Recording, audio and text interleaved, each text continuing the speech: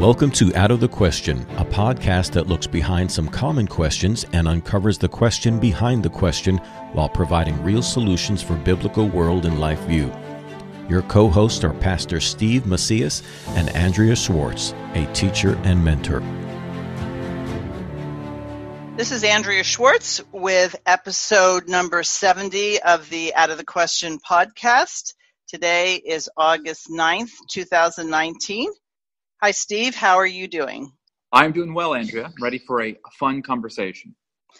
Well, we have a guest today that's going to help us tackle our question, and I'm going to have Steve introduce him because they are longtime friends and colleagues. But here's our question Should ethnicity matter? Now, I specifically chose the word ethnicity rather than race because I believe that we are all part of the human race and the designation of race is much more Darwinian than it is biblical. Yet, the Bible does talk about different nations and peoples. Steve, introduce our guest with a little bit of his background and why we thought he would be a good participant in this discussion. Well, our guest today is the Right Reverend uh, Dr. Will Boyd. In addition to his academic credentials, having uh, multiple doctorates from the Louisiana Baptist University and a master's degree in theology from Balamont uh, Seminary, he also has uh, a unique perspective based on his life experiences. He's married to somebody who was not born in his native country. Uh, he was born here in the U.S. His wife was born outside the US, and they have built a family and have a whole tribe of children that reflect this diversity. I'll let him share his details about his family, how they came to know each other, and uh, what implications in the idea of ethnicity that brings to uh, to bear with us today. Hello, Andrea. Hello, Father Steve. How are you guys doing today?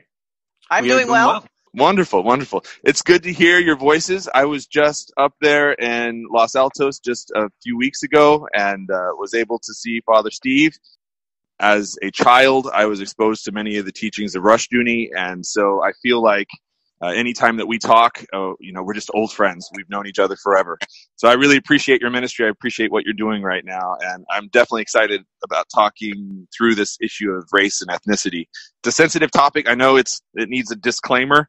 Even amongst the Christian community, people say, you know, how can one race talk about another race? And I think um, in my particular situation, and we'll talk a little bit about my story, I've, I've learned the hard way how to deal uh, with various racial and ethnic and linguistic difficulties and, and, differences. And it's a part of my everyday life now and, and one of the parts of my ministry as a missionary overseas. Okay, so if you would go into what your work is, your family makeup, how you got where you are, and then begin to share some of, as you said, your unique perspectives. Yeah, well, I come from a very typical Midwestern American background. Uh, my background is Scotch Irish and German, and very typical for kind of the WASP population, you know, that white Anglo Saxon Protestant background. My parents had very little uh, to, to say or to teach about the issue of race or ethnicity. I was always taught that everyone was the same because God loved us all equally and that he had a plan for everyone's life. Uh, I was I was never really in a situation that required me to be overly sensitive to issues of ethnicity, and I was homeschooled. My dad sent me uh, at a very early age to a Bible college, mostly from the same background. I ended up being about 18, 19 years old, and really feeling that in many ways the culture that I grew up with was deficient, not just because it was so monocultural, but because it was uh, very much the same kind of racial, ethnic um, enclave mentality. L- later on, I found is true for almost every um, culture. But at the age of 19, I left home and I went to South India Baptist Bible College and Seminary in Tamil Nadu, India. And in India, uh, for two years, as I worked on a master's degree, I, I experienced the whole issue of cross-cultural, cross-racial, cross cross-ethnical um, relationships for the first time. And so it was really an interesting thing for me to experience. I feel like in many ways that was a formative experience because it allowed me to see past my own uh, self definition of what a Christian might be. It also helped me to understand that there are different forms and expressions of Christianity. Um, all around the world, there are there are various traditions of Christianity that have developed, and helped me to understand uh, what I could learn from from those various traditions. It also really broke me out of kind of the monoculturalism uh, of my youth of growing up in Midwestern America. So, so in many ways, my my background uh, was very typical of an American Protestant formation. My growth in my late teens and early 20s there in India was very non-typical. And I think that is really what formed me in my desire for missions and my desire uh, to enter the Anglican Church and the Anglican tradition. Now, really central to my entire experience as a missionary in East Asia. You know, we've been there uh, for 15 years, and so it's been a constant outflow of grace. You know, as we've tried to cross these ethnic boundaries and barriers. Well, I think it's interesting about your your movement to to India is that there's a different understanding of ethnic identity, right? So yeah. in India, you have people where your religion is connected to your your ethnic identity. You know, people who have been Christians for generations, which compared to your background, uh, you know, in a Baptist home in the Midwest. You know, Christian became an identity that you you chose, or you were baptized later in life. You may have grown up in a Christian family, but your your ethnicity and identity as a as a Christian was somewhat detached from your religion. Oh, absolutely, yeah. But then you get dropped into this Indian community where you could be set in a different caste based on your religious identity. That these two things were very much tied together, and you see that with lots of different cultures where your ethnic identity and your religious identity are sometimes merged or confused. I see that as very uh, important in my journey. When I went to India and had contact with the Mar Thoma Christians, it was a fantastic experience because they really did shock me out of a kind of uh, individualism. They started me along the path of thinking about what covenantal theology really means, how people groups um, interact with God. And it was an, an, incredible experience. It was also really difficult for me to fit into the Baptist paradigms of my upbringing because we were taught that it was just a process of our personal relationship with Jesus Christ. And not to underplay that, that is still a very important part of what I still believe that it is a very essential part of our uh, of our Christian faith to have a personal relationship with Jesus. But at the same time, you know, in India, I saw people who had been really isolated from the rest of the Christian community for about 1500 years.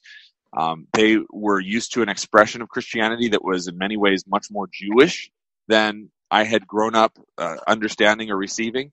And in so many ways, you know, they had preserved many aspects of the early Christian culture, like the Aramaic language, um, singing of psalms for worship, um, prayers that were directly out of the Old Testament. These kinds of things that I wasn't, as a as a non liturgical Christian, I wasn't used to interacting with, and it was very much related to their concept of who they were as people. And I remember uh, I met a Mar Thoma priest uh, and talked to him one day, and he said, "Well, you know, I'm descended from the Kohanim. You know, we're Jews, and we believed in the Messiah, and we've kept the the Messiah's way all the way up until today." And it really shocked me because, you know, that's kind of a that's kind of a mythic process in the West. We can't even begin to to see that kind of continuity in our own cultures or in our own lives. And so it was it was a real eye opener in so many ways to be exposed uh, so early at the age of 19 to these other cultures that identified as Christian, but also identified Christianity differently than we do here in the West. So, if I might interject here, I don't hear in what you're saying that somehow or other you had some sort of bad background because the people you grew up with were the people who were of the same possibly ethnic background and you hung around with people from your church, it sounds like you're saying the broader the broader perspective helped you tremendously in realizing that your way wasn't necessarily the only way. Absolutely. Uh, I see in my experience actually a reappropriation of my childhood upbringing. I had seriously doubted the truth claims of Christianity before I had this cross cultural Christian experience. I equated a lot of what I grew up with uh, to uh, really cultural decisions and, and cultural habits. And after my experience in India, I was able to see how Christ was truly universal and how many of the things that I had been brought up to appreciate were still universal, even though they might have been associated with a, a Midwestern white background, ethnicity, uh, racial makeup. So what I started to see in my in my cross cultural experience was what truly mattered, and it reinforced the dedication of my parents and their desire to raise me as a Christian. It reinforced my grandparents' values and what they had instilled in me from childhood. It reinforced my appreciation for the Bible as God's Word. It reinforced my own personal commitment to Christ. So, in so many ways, it actually was hugely helpful uh, to realize that through these kinds of cross cultural experiences. Would you say that some of those cross cultural experiences enforced your ideas? Uh, you know, strengthening a biblical sexual ethic. And you can look around at different Christianity expressions in different countries and see all of them value marriage and see the family as the, the basic institution of the faith and they and they see the em- emphasis on raising the next generation you know in american christianity those things are being like you described seen as cultural values that are parts yeah. of americanism but i think when we look at how Christianity has expressed itself over the last 2,000 years in you know, hundreds of countries and different cultures, there are certain ideas and values that bubble to the top as these are universal because Christ said them and they're in the scripture. Yeah, I absolutely agree with that statement that through my exposure to Indian and Middle Eastern Christianity, my understanding of the family has deepened and has been strengthened there are no more traditional societies in the world really than these cultures in uh, you know India and places like uh, China and places like the Middle East where they have very very strong commitments to the family as a very important revelation of God. It's a place where you are redeemed. It's a place where you are sanctified. It's a place where you experience God's grace in a real and new way every day. And this I think was really made concrete in my experience in South India because I saw such strong families. I saw uh, husband and wives who loved each other, uh, even though they expressed it in very different ways than the egalitarian West. I saw uh, families, very large families uh, of the Christians, uh, the Malayalam speaking Christians in Kerala, uh, the you know, the huge Christian families that were incredibly happy. They were poor, but at the same time, they, you know, were dedicated to one another and they had a richness of faith and a richness of life. I really envied. And in so many ways, you know, as a 19 year old, you're starting to think about your own life and your own family. You know, I asked God, is this the place that I need to stay and live? Do I need to, you know, be a missionary, quote unquote. You know, it's funny being a missionary to those kinds of people. Do I need to learn from these people um, and learn how to have family here. And in fact, you know, that was one of the things that I thought was very, very interesting um, as my relationships on the ground progressed. That the one way that they think of really blessing a young man and establishing him is by, you know, marrying him to uh, you know a good Christian girl and establishing a good Christian family. And I remember so many Indian uncles and aunties coming to me and saying, you know, oh, we've got um, a, a, a niece or we have a, you know a, a distant cousin um, that we would like you to consider. And it was it was a huge part of their thought process uh, establishing families and you know creating relationships. And um, even though god didn't see fit to allow me to stay in india and even though my wife is is not indian she's chinese um, it was an amazing thing to see how they made the church into a process of family and how that process of family really undergirded everything. It was so important to them. And it's still important to me and now as i have teenage children it's a part of my thought process as well. How do we establish our children not only in the faith but in you know a secure family someday? And how do we prepare them to be good husbands and wives? So i have a question when you were in India, was the fact that you definitely did not look like them and that you had come from America, did you experience among the Christians there any sort of racial or ethnic bias against you?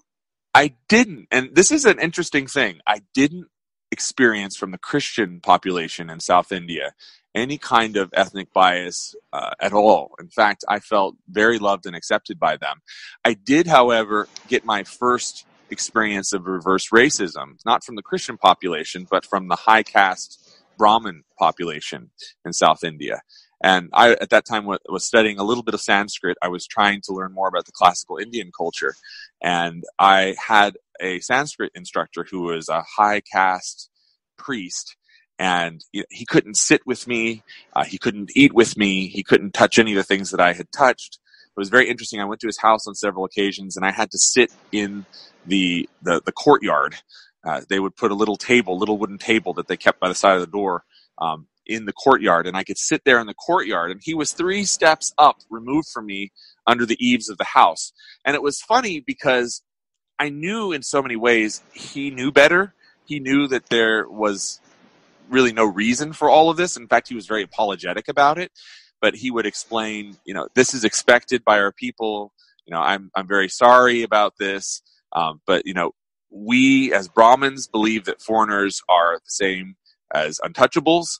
And when you're amongst the Dalits, the untouchables, they believe you're the same as the Brahmins. You know, you're, you're, you're high caste instead of low caste. It was very, very interesting to see that in the Indian context and to feel that for the first time, to feel that I indeed was untouchable, that anything that I would approach or touch was somehow polluted.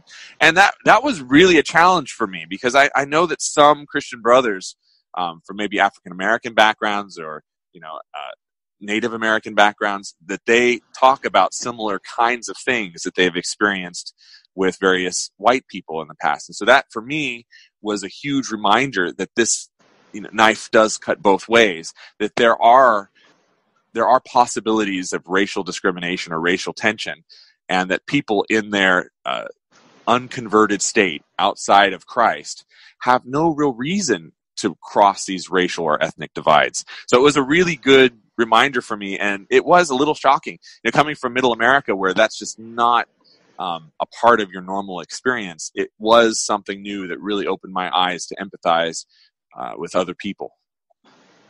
Well, I think what's what's also interesting is we're going to get into your marriage. You mentioned you married a Chinese woman.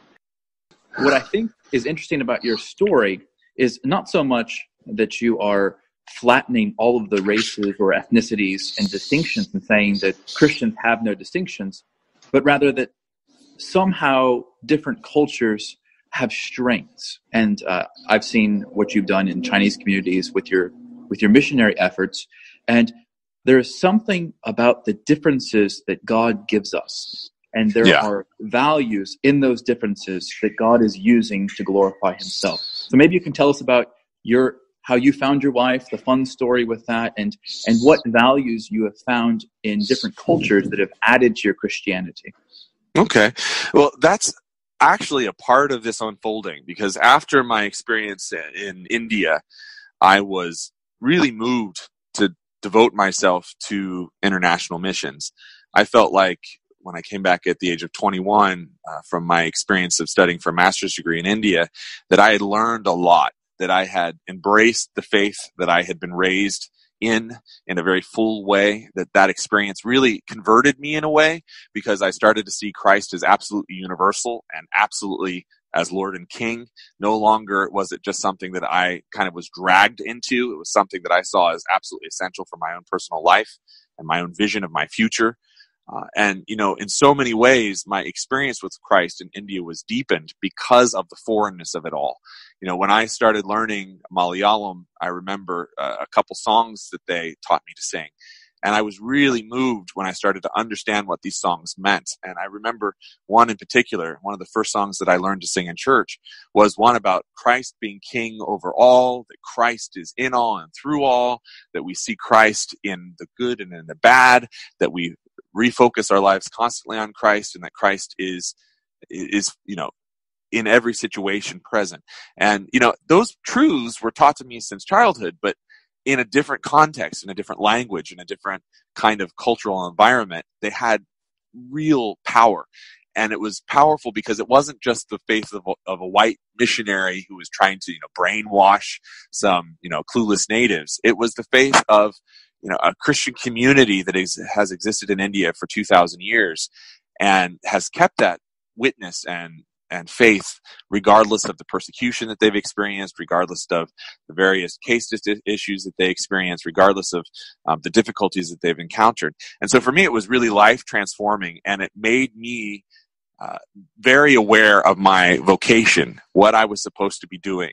And so I offered my life to Christ at the age of 21 uh, for full time service and for missionary service. And I really didn't know where it was going to lead. In so many ways, I thought it was leading back to India.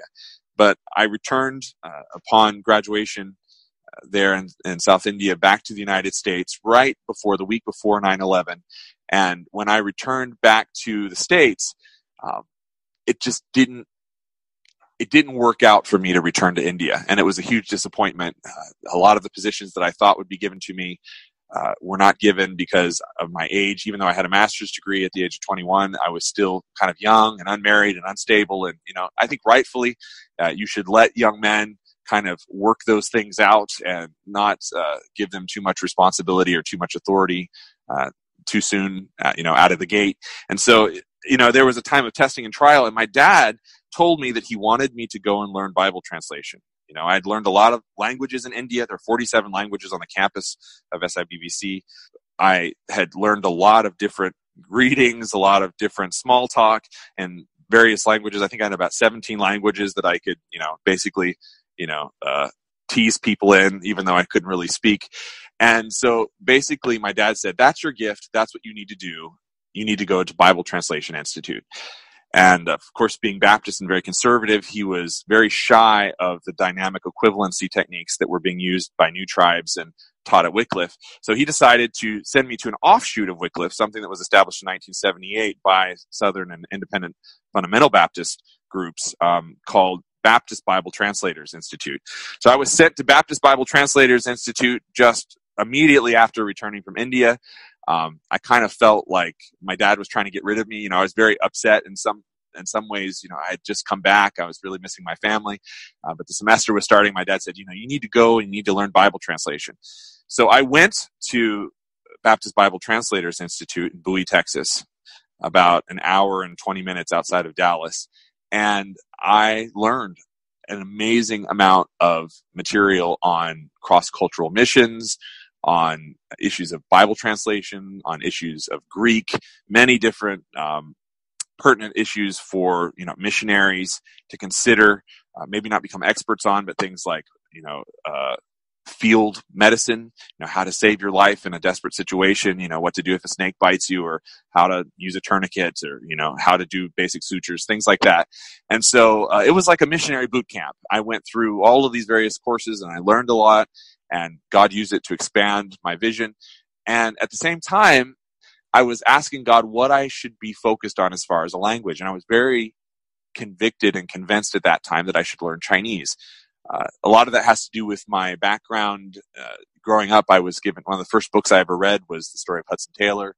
A lot of the things that I focused on growing up had to do with Asia. I had met a wonderful Korean pastor at the age of eight who had given me a little Korean medallion and told me to pray for Korea and East Asia every day when I saw it. So I, I hung that over my bed, and every day I would pray for Korea and his ministry there in South Korea and the rest of East Asia. So for me, it was it was a very important thing to be involved in prayer for uh, persecuted Christians all over East Asia. And it was just a kind of a facet of my life.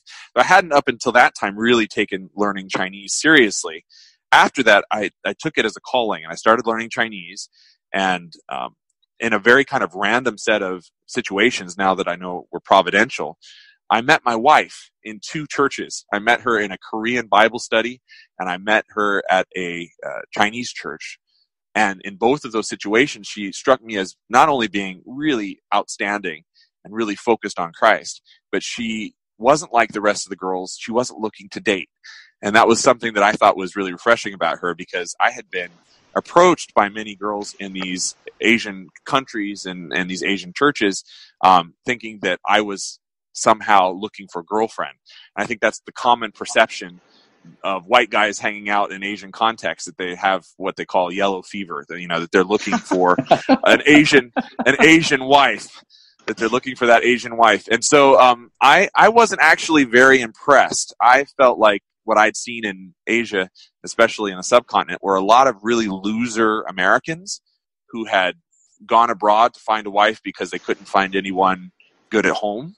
And so I was I was kind of biased against cross cultural relationships, not because I thought that they were wrong or bad in any way, but because I'd seen a lot of really sleazy ones, uh, relationships that were based on money or green cards or other assumptions. So I wasn't really interested in that. And I had told my, my, my father previously, you know, you don't have to worry about me bringing home an Asian wife. Um, and it's really funny when you kind of lay down the gauntlet. I think that's what God does actually is he, he lets us experience those things that we would least we would least choose on our own and not that in any way my relationship with my wife has been bad in any way shape or form but it definitely is a challenge. And i think we need to talk about the challenges of cross-cultural relationships because they're not easy at all. Um, they're actually calling and you have to see them as something that god is using to sanctify you Okay, so let me ask a question. Yeah. So when you met her at these two other places, was it in while you were in Texas or you? Yeah, I was in Texas. I was there learning Bible translation, working hard on translating. I, I worked first on translating the Gospel of John, so I was you know slugging it out in Greek, trying to translate the Gospel of John, trying to learn how to translate. Well, what was Greek she doing there? She was learning mathematics. She was there at the campus of the University of North Texas and she was learning math and business. And her whole idea at that time was to be an economist. So when I met her, she was a serious student of mathematics. Uh, she was there at the campus of University of North Texas, and we met there in those campus ministries. Now I had to drive about an hour uh, to go into church, but at that time I was trying to learn Chinese, so you know, I was trying to expose myself as much as possible uh, to sermons in Chinese and communities of Chinese speakers. And uh, very quickly, it was apparent that I wanted to do ministry in that in that capacity. And so, uh, Pastor Teo, who is there at the Chinese Baptist Church in Denton, uh, made me the head of the student outreach. And so, you know, you get the you get the enthusiastic young white guy who's got a seminary degree, you know, to work for you. That's you know the mo of almost all pastors.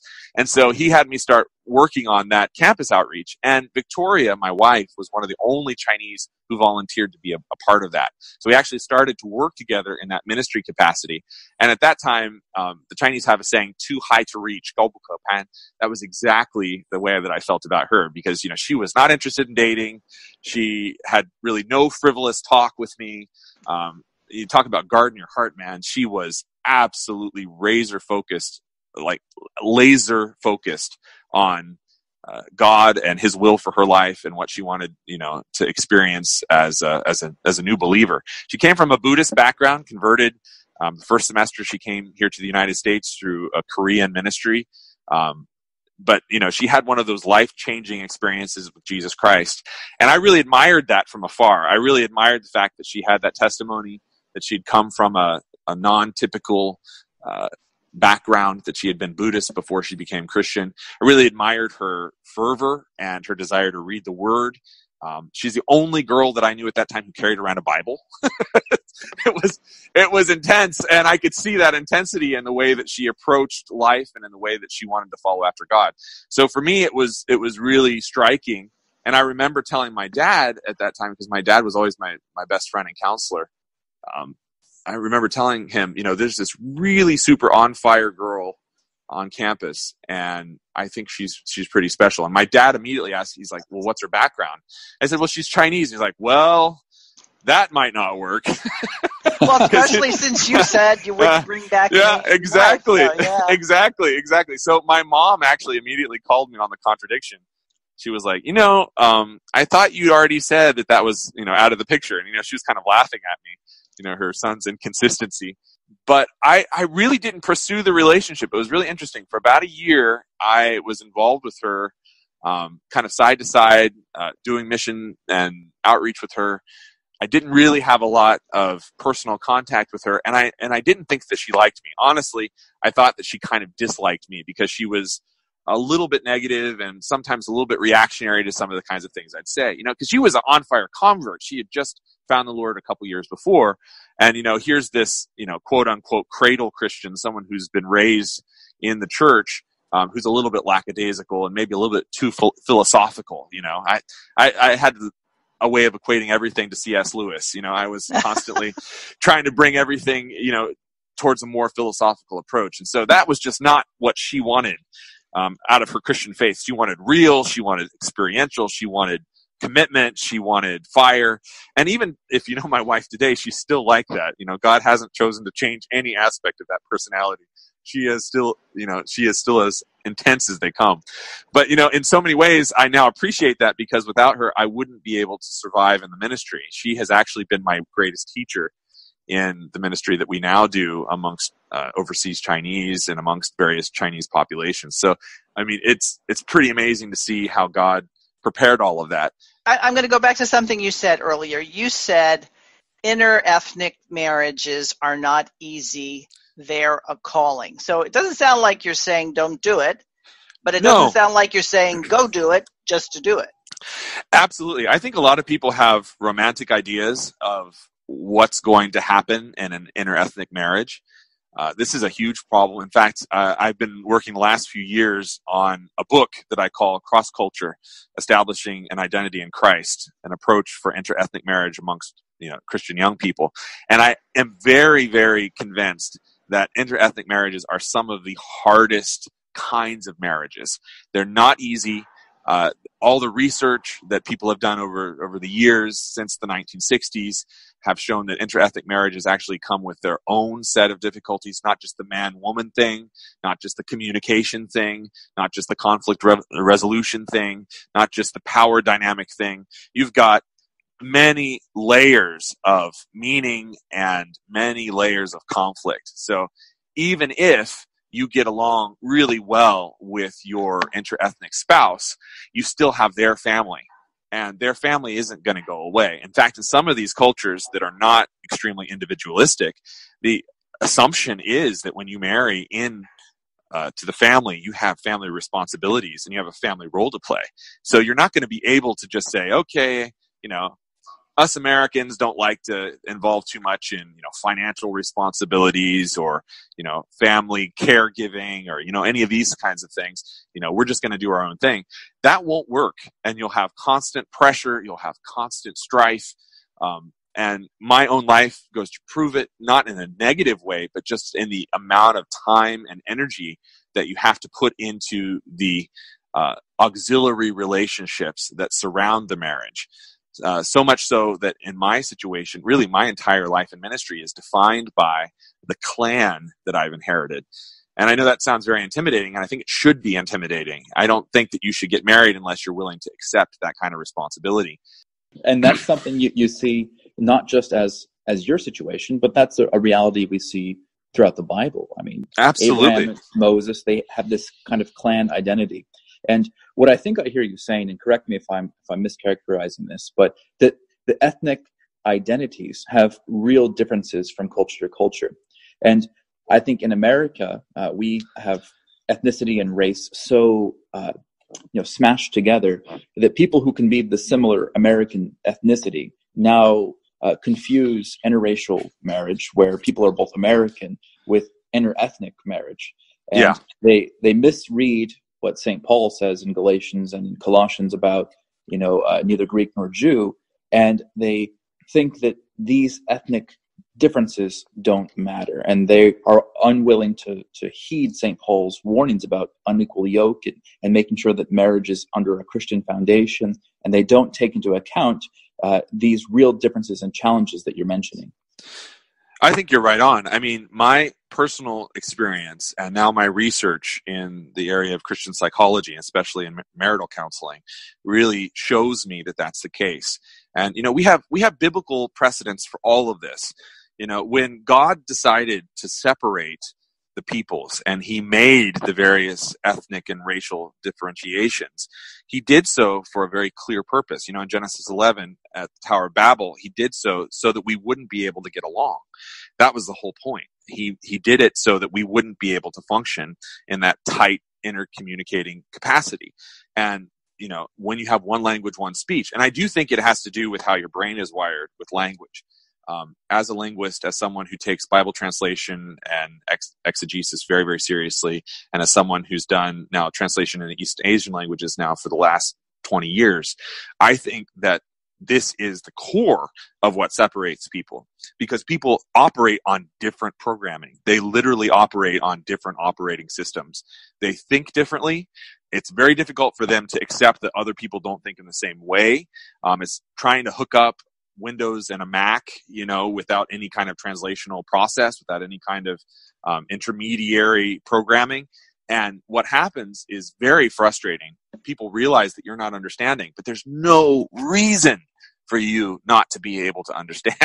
You know, there's there's just no acceptable excuse because people take their culture and their language for granted. They take those things as hard fact. They understand those things as being a part of the structure of reality. And so when you're trying to reach across ethnic boundaries, you're trying, you know, as the Bible uses these two words, ethnos and barbaros, um, you know, when you're trying to reach across the ethnic boundary, you have the problem of barbarianism, which is incomprehensibility, when someone can't understand you and you can't understand them. And you might even you know be speaking in english but the emotions being described just don't fit any of your categories. And this is really interesting in our work in east asia especially in places like thailand um, because in the thai community they have categories for things that you can't even begin to imagine. You know there's these incredible ideas that somehow being hot is bad and being cold is good. So if someone's cold hearted, it means that they're a good person. If someone's hot hearted, it means that they're a bad person. And, you know, they will use those categories in all different aspects of life. And so, you know, you'll be very, very confused when they're saying, oh, you know, you're, you're a warm-hearted person. You're thinking that they're saying, "Oh, you're you're a great person. Thanks. You know, I appreciate you." What they're actually saying is, "You know, you're a bad guy." wow. and it's really funny, you know, when you start translating across these various cultures, it's more than just language. It's a whole set of attitudes. It's a whole tradition, a history, a language, a land, a law, a way of life. Um, these things are very, very different. And you can't just, you know, decide that they're all the same and you're going to flatten all those differences and you're going to somehow just ignore them and you're going to have a happy life. That doesn't happen. And I think that's one of the most naive things that I see, especially in counseling. Uh, betwixt inter-ethnic uh, partners in a marriage, uh, inter-ethnic spouses, is the fact that they are assuming that things can be worked through easily. And the truth is, even with a lot of communication, you have to learn the other person's culture. You literally have to humble yourself to become like a little child and to submit to other ways of thinking and other definitions that are especially for the man. This is what i see all the time. I see the woman in the relationship normally flexing to the culture of the man. And that's good. That's biblical. That's a patriarchal understanding of you know the, the husband as the head of the family even as christ is the head of the church. And I, I see that as a very good thing in many ways you know for the husband to be the spiritual leader in the family. But it can't happen that spiritual leaders are are abusive. They can't expect that the emotional needs of their wife are not going to be met. They have to be uh, truthfully laying down their life for their wife, even as Christ laid down his life for the church. And that's the difficulty that we see in uh, this kind of inter-ethnic marriage is that a lot of times the assumption is, you know, my culture is going to be the operative culture. You know, I'm an American, so you're going to be American, and right. that's truly not possible it's truly not possible for the wife or for the husband to lay down their entire structural formation from childhood and assume another culture and another paradigm. There has to be flex. There has to be incarnational process where just as Christ, you know, emptied himself of all of his glory and he came to the earth in the form of a servant. So Two, do the people in an interracial marriage have to empty themselves of their cultural superiority, no matter how great the culture is that they came from, you know, no matter if they're make, from American or whatever. Right. It makes me think of the fact that the Bible says for this reason a man should leave his father and mother and cleave to his wife. The Bible never says that the wife needs to disassociate herself from her family. It's funny that you would you would pick up on that because that's a biblical principle, but that's also a counseling principle that I see over and over is the fact that the wife has the hardest time with the reorientation process. So you end up with these men who are really strong, who are, you know, forcing, you know, my way or the highway, you know, they've got their culture and that's how it's going to stay.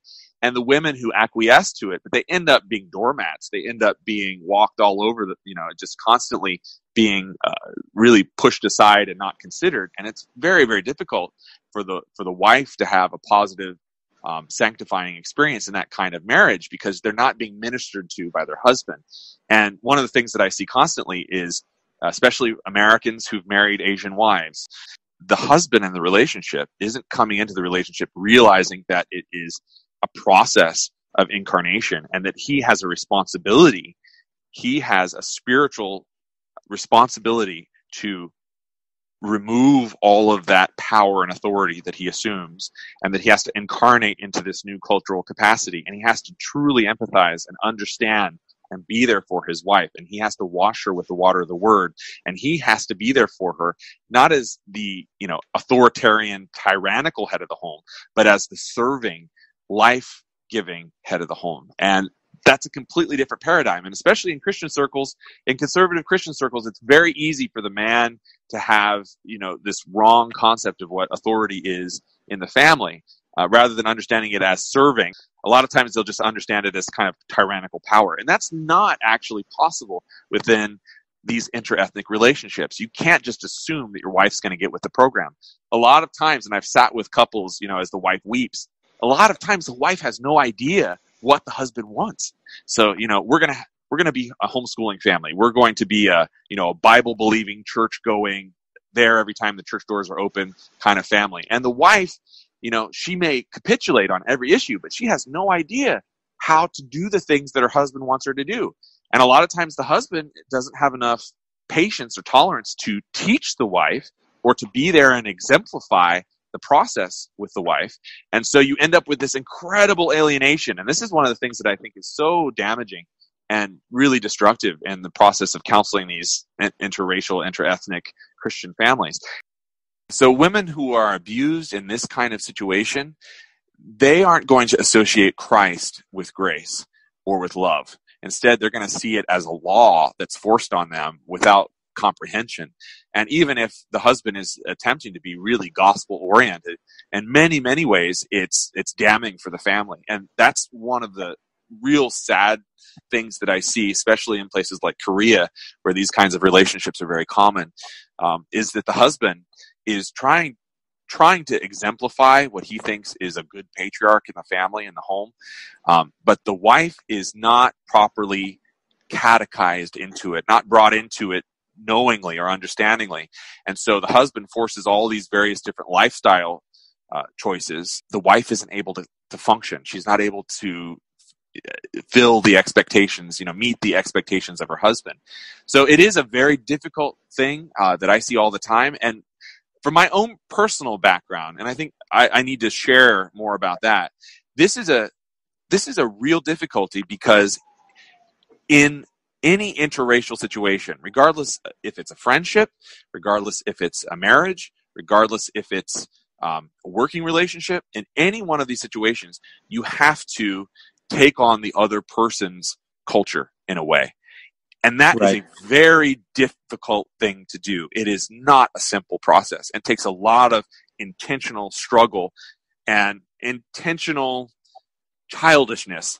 Uh, you know, we, we really fear being looked down upon and being seen as a child. And two, learn another culture means that you put yourself in the place of a child. You ask dumb questions, you say the wrong thing, you embarrass yourself. And you know, as especially a man, you know, with fragile ego, it's a very difficult thing to accept. You know, why should why should I have to do that? But that's exactly what you have to do. And that's I think one of the reasons why all interracial relationships are so difficult, even if you're talking about a, a social um, experience of difficulty betwixt races.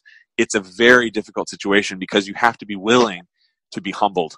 You're talking about this incarnational identity, and one of the, the buzzwords of our day, and what might be misconstrued in what you're saying, is the idea of, of cultural appropriation. You know, in America, mm. it's, it's, negative uh, for me to dress up like a Native American on Halloween, or for me to uh, cast a white person in a in a movie about a Middle Eastern family. You know, there's cultural appropriation, and I think what you're describing is different uh, as far as incarnational identity.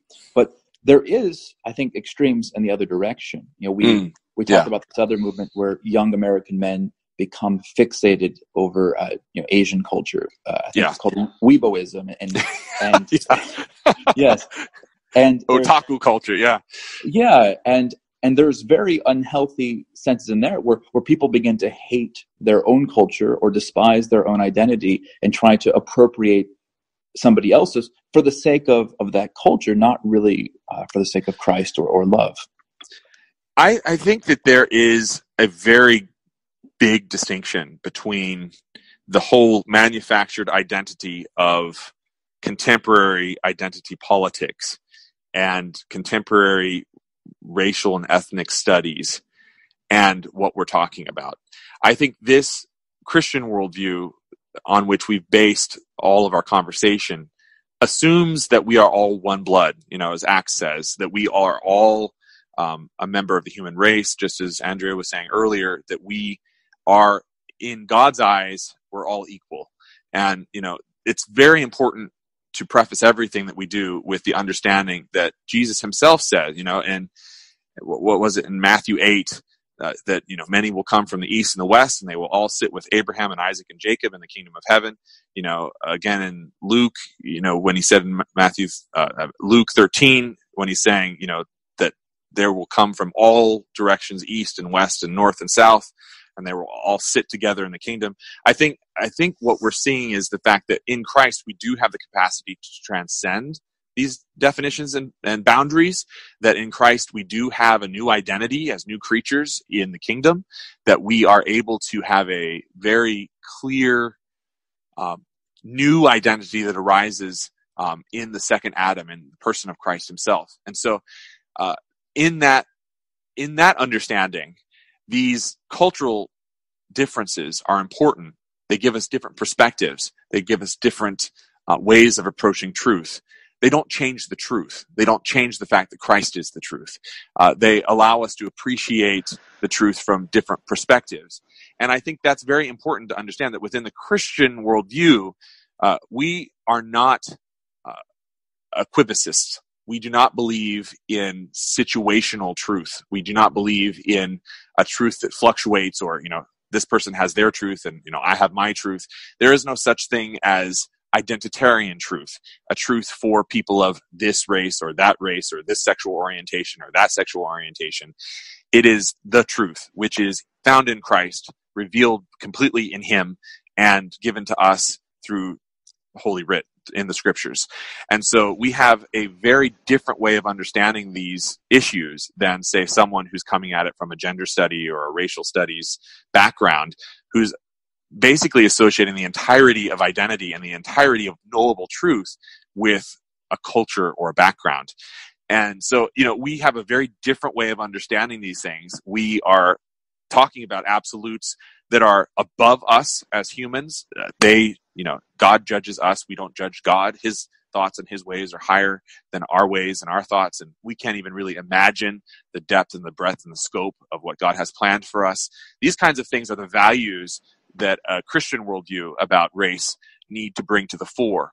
However, in contemporary gender and identity politics, what we have is not only radical equivocation and situational ethics. Not only do we have a radical departure from any kind of transcendent vision of human value or human worth, but we have this incredible undermining of the image of God in the individual by equivocating all aspects of the human person to not only the gender uh, identity uh, or the differences in sexual attraction, but also in the, the, color of skin. And so that's one of the really strange things that you start seeing amongst uh, these hyper postmodernist uh, identitarians is that there is a very strong desire and it's a very racial, very biased kind of approach that all things basically revolve around the color of one's skin or the composite ethnic identity of one's background.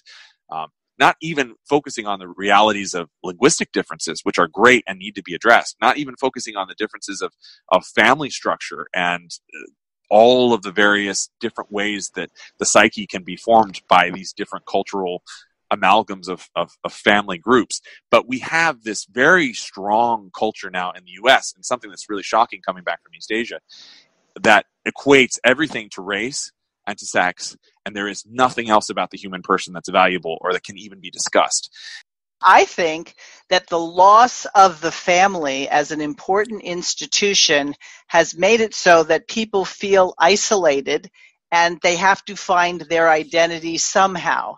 Yes. And one of the, the, I mean, I remember growing up in New York and the school I went to, there were a lot of people of Italian descent, a lot of people of Irish descent. There were mm-hmm. always Irish jokes. There were always Italian jokes. And the funny thing is, you could switch the ethnicity and it would be funny depending on who was telling the joke. But there were yes. real differences between Italians and Irish and German. And I think we have gotten this idea, whatever the melting pot idea is, that it's a good thing to get away from ethnic distinctions. But my husband, who comes from a, you know, English, like he, he had the same background like you did, Will, he had the greatest time when he interacted with my Italian family. Yes. He said, "My gosh, it's never quiet." And um, and at first, he, you know, a lot of people don't know if you're around Italian family, they're yelling at each other. Oh, gee, they, they must not like each other. And I'd say, oh, no, no. With Italians, if they're not yelling at each other, then there's some ill will between them, right? So yeah. I think there's nothing wrong with somebody of a German background wanting to marry someone of a similar background. Absolutely. Yeah. I don't think that there's anything wrong with any of these mixes per se. Uh, you know, there's there's definitely struggles in each kind of relationship. And I think one of the one of the risks that we have as as Christians and as pastors uh, in any kind of counseling situation is that we make equivocation. You know that we say that the individual doesn't matter, that all relationships are this way or that way. We we make these sweeping generalities, and we think that somehow that's going to help people. Actually, I think what's really important and what Christ did Himself is He looked at the person, He talked to the individual. It was face to face. It was very much focused on the needs that were presented. And, you know, those presenting needs formed the pastoral approach. And I think that's one of the things that we see now is that people want to have these great sweeping generalities about white people and, you know, what, what they are you know perceived as doing historically and maybe you know the way that they've oppressed people culturally um, these broad sweeping uh, and I could say even racist definitions are very, very dangerous because they lose the image of God in the individual. They lose the relationship that each person has with God and that we should have with one another. And yes, there are real problems. There are real difficulties. And this goes without saying, but I need to say it over and over again, especially to people who come from my background, who assume that, you know, everything is equal and everything is fine. No, there are lots and lots of difficulties. For many people and many different populations, there is a perception that white Americans are uncaring, that white Americans are abusive. And I've seen that overseas. I've seen how um, disastrous uh, careless white American people can be when they're not Christian in their orientation, when they're not trying to redeem the other, when they're not trying to live according to the truths of the gospel. And so there's this re- radical egalitarianism that comes with Christianity that realizes that we all are children of God. There is no distinction in the value of our souls. And even though there are cultural differences, even though there are dramatic differences in the way that we think, the way that we communicate, uh, the structures of our families, even even if you say that they're patriarchal families, they're very very different in the way that they function and how work is delegated and what's expected of men and women, and all these things are culturally dictated, even in the midst of all those differences, we have the faith that God loves red and yellow, black and white. They're all precious in his sight, and that every person has a place in God's kingdom, and that we should, as Christians, be stripping ourselves of any proud intentions or assumptions. And we should realize that because God loves all of these other people and he does accept them even if their cultures are different, that we have to do the work that Christ did and we have to strip ourselves of our own what has been called recently imperialism, but really is just pride. Have to strip ourselves of these aspects of our own human pride, and we have to submit to others in a process of becoming like a little child. That is the way that we enter the kingdom. That's how we allow others to enter the kingdom uh, is through this process of becoming like little children. And it's a very, very hard thing. It's the hardest thing you'll ever do. And that's what I challenge all the men who come in for counseling, especially in these cross racial, cross ethnic kinds of situations, is that is the hardest thing to do. And that will be the making or breaking of a cross racial relationship. And I think we should state that if you're born with any color skin, if we hate being white, and we hate being black or we hate being various shades in between, we're basically saying God made a mistake. And I, I yes. don't think we can ever go there. And the no. truth is, I think it's an insult for someone to come up to me and say, you know, I don't see your skin color. Well, if you don't, that means you're blind because my I, when I look in the mirror, I see my skin color, and yeah. so it's it's sort of condescending to say, you know, it doesn't really matter to me that you're black. That's okay. I don't see your blackness.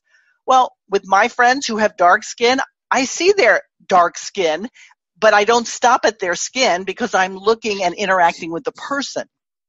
Absolutely. And I think the one important aspect of all of this incarnational thought is the fact that God created differences, that these differences were made by God and there's a purpose. There is a very valuable component to all of the different cultural, racial, ethnic linguistic perspectives.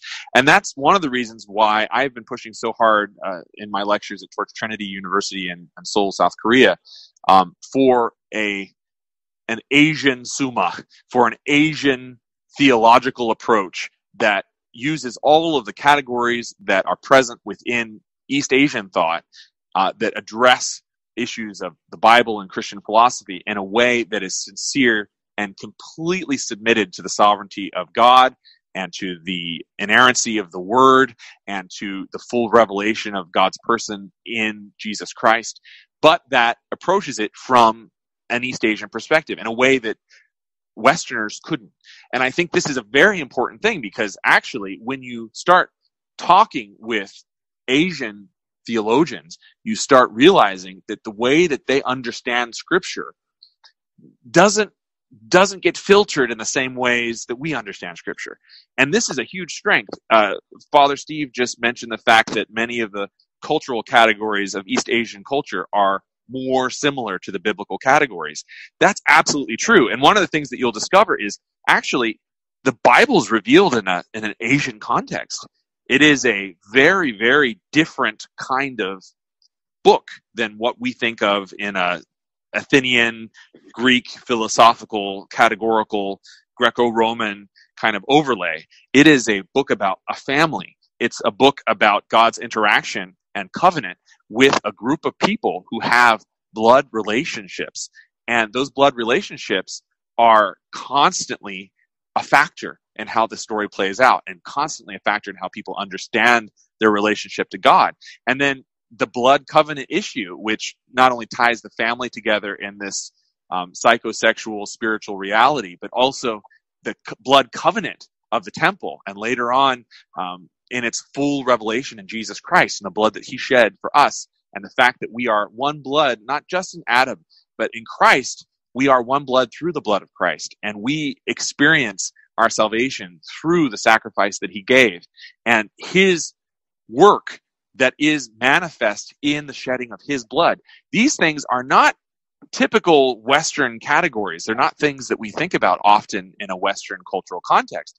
But in India, absolutely. In China, absolutely. You know, in China, they have a very strong understanding of how blood connects with life and how blood can be used sacrificially And so many local superstitions and elements of Taoism and elements of demon worship, all these things tie in with uh, various aspects of this blood covenant ritual kind of orientation. And I mean, honestly, if you take a villager from the furthest rem- remote, inaccessible provinces of China and you tell them Old Testamental stories, they get the metaphysics. They understand what's going on.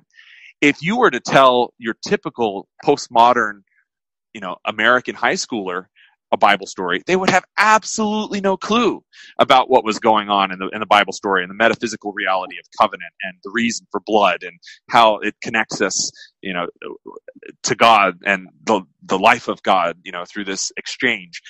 We need to be reminded of these things and we need to learn again these things from these other cultures that have these different perspectives. And I think that's what, as a theologian and as a student of philosophy, what really strikes me as so incredibly valuable about these kind of inter-ethnic, interlinguistic uh, encounters. And that's and that's exactly what we need to keep talking about. You know, the church has always held these cultural ideas in tension, East and West, you know, Jew and Gentile. I think that's what St. Paul is talking about, that there is a bigger picture than one culture, one dynamic. Dr. Will Boyd, uh, Bishop in the Anglican Church, uh, you're working on this book. How could we follow your work? We're, we're so thankful for your time. If you have uh, any way we can get a hold of you for our listeners, uh, please let us know.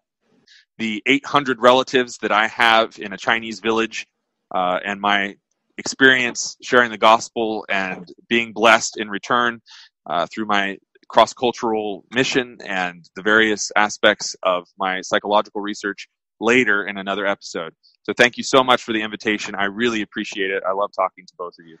Well, you're certainly welcome, and um, our listeners will be surprised to find out not only with your seven children and your missionary work, you sing opera in your own right, so you really are a man of many talents. But as Steve asked, is there a website? Is there some place people can go to read some of your work?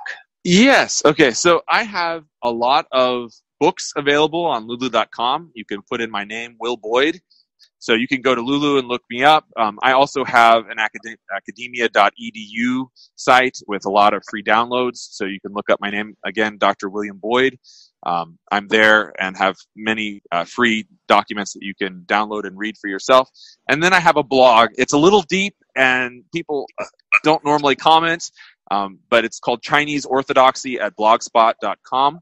And uh, on that site, I have a lot of reflection on Eastern and Western theological perspectives in contrast. So yeah, those can are, people find you on Facebook?